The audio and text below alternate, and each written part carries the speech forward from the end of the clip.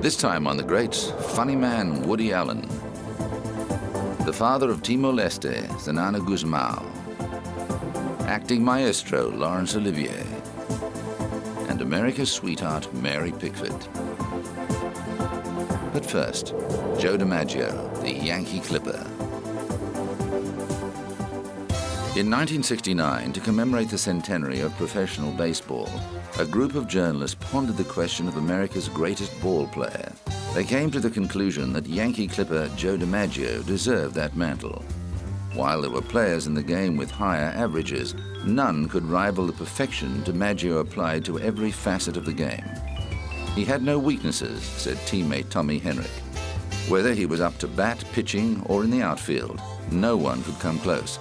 Opponent Hank Greenberg told Sport magazine that the only way to get a hit against the Yankees was to hit him where Joe wasn't.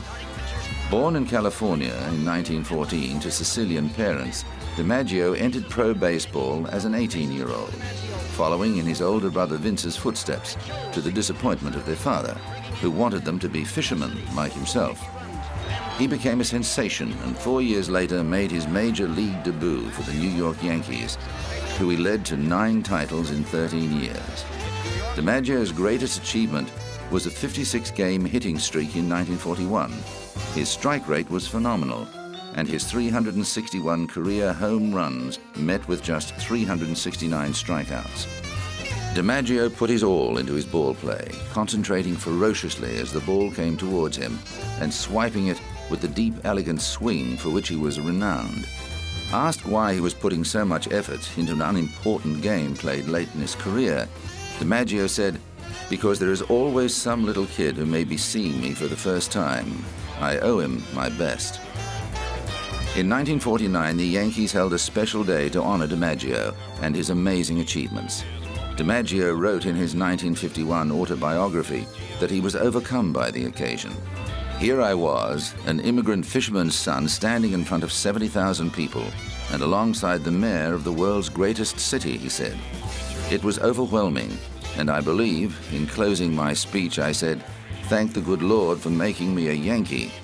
I've never been more serious in my life. Divorced from his first wife in 1943, DiMaggio caused a sensation when he married screen siren Marilyn Monroe after a whirlwind romance. The high-profile couple eloped to San Francisco City Hall in 1954 and spent their honeymoon in Japan. The public considered it the marriage of the century. A recent exhibition on the Queen Mary cruise ship displayed some mementos from their relationship. But despite the couple's evident love for each other, there were problems from the start. The Force Salon is the love story. We're sitting in the this one, and it's Marilyn and Joe.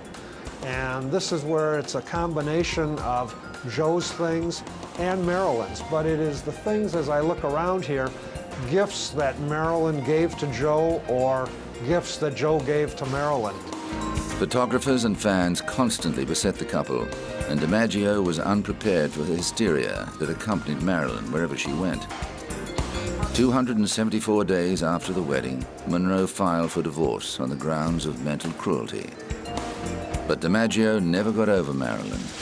After the collapse of her marriage to Arthur Miller and admittance to a psychiatric hospital to treat her drug addiction, DiMaggio came back into her life and encouraged her to break off friendships with people who were supporting her destructive ways.